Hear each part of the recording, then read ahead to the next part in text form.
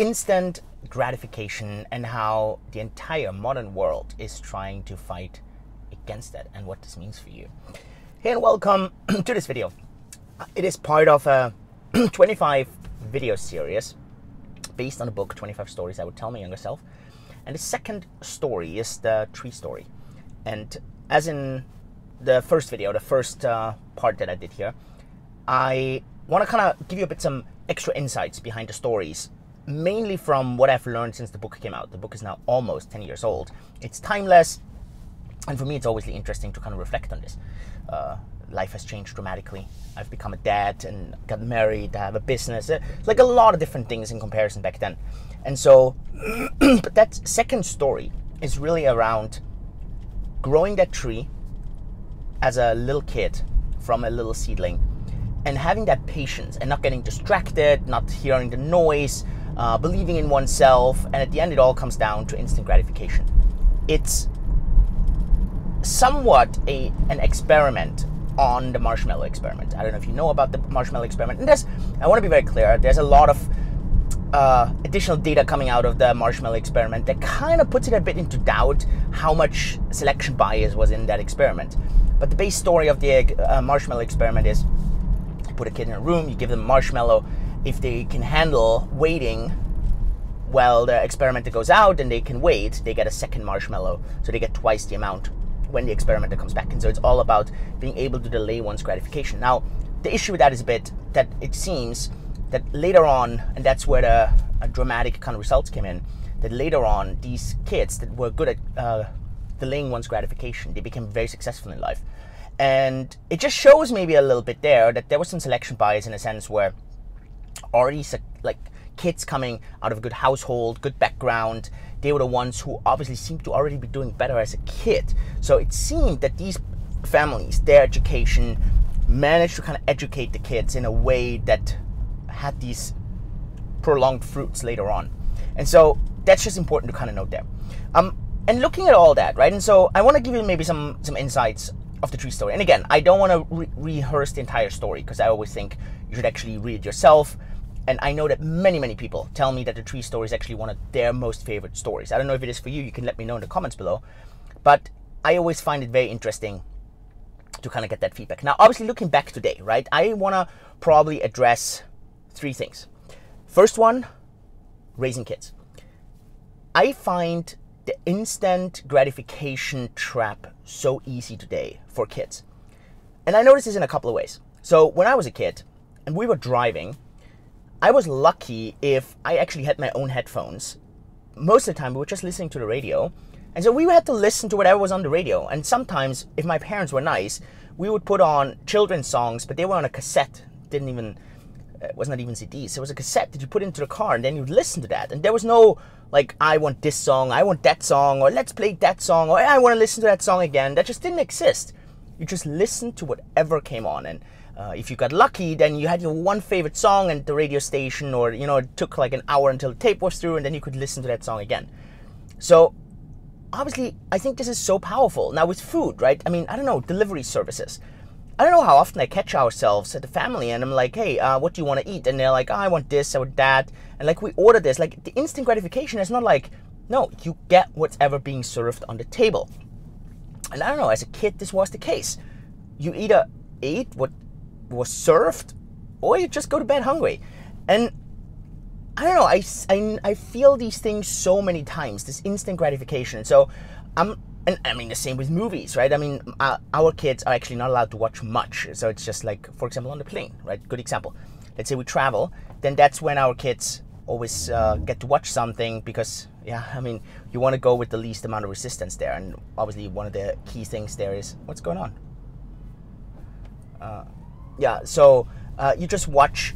You just make them like you help them watch something so that you know it's quiet and they don't kind of uh, annoy everyone else in the plane. But so there's the same thing. Like instead of like I remember when I was flying for the first time, I was 16 years old when I flew, 15 years old to the U.S. when I was the first time flying, and I mean there was no on-demand movies. You you basically had to watch whatever was on, and so I mean this is a night and day difference to everything, and why am I mentioning this? I'm mentioning this because actually, on purpose, I'm trying to give my kids less instant gratification on these things, less on demand, and way more. You just have to wait. You have to take whatever comes at you right now.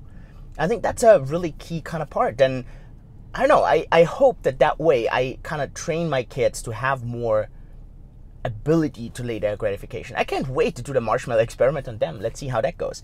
I mean, my oldest one is three, so I don't know. Not I, it's still a bit too early. The kids in the experiment were about four or five years old, which makes a bit more sense because he doesn't fully, he wouldn't fully get it yet. Um, yeah, the second one that I really want to share is actually daily life as a grown up, right? I think what happens to kids as a, in a small kind of sense, as a grown up, it gets even worse, right? And it's the dopamine trap. Um, I, it was actually a book I had intended on writing um, before I started my current company, Cake, and it just got so busy that then I didn't have time for that, and I kind of scratched it because then there became there was so many books that came out at that time, Dopamine Nation and so on. So it was very interesting to see that it was actually the exact right hunch, and dopamine is just that hormone that really makes it sometimes difficult for us to delay gratification because it's that motivation hormone. And so, I mean, social media, all on demand, all these things, right, are so tricky for us as grown ups.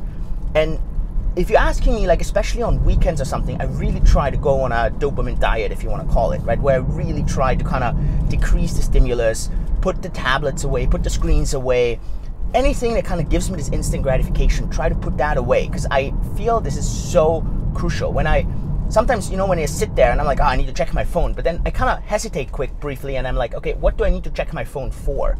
Is it for something meaningful? Is it just because my mind kind of is kind of racing and I don't know, it just kind of feels nervous or something, right? So, I mean, this is this gives me so much kind of like it reminds me so much of that tree story when you wanted to dig down to the tree and kind of sees the tree growing and thereby destroying everything. It's kind of a similar uh, situation. And I mean, last but not least, is it's investing. I think it's so hard in investing to have this delayed gratification. I mean, crypto is so full of these people, and, and, and that's honestly sometimes that's exactly what actually makes me want to get out of crypto. Is people who want to get rich overnight, who are super toxic, they they hate on everyone that I don't know does it different than them because they're scared that their path doesn't really work. And I mean that's the entire story of the tree story.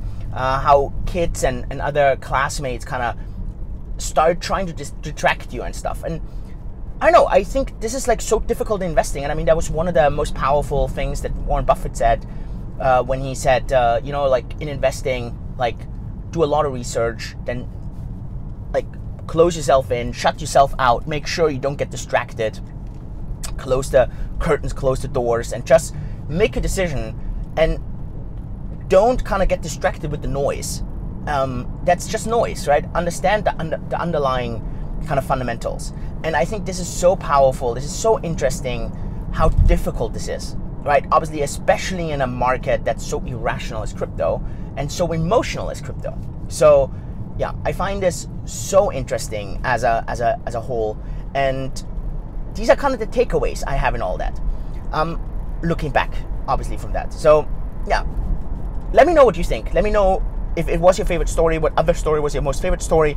Obviously, we're gonna continue this series with uh, the next story, story number three.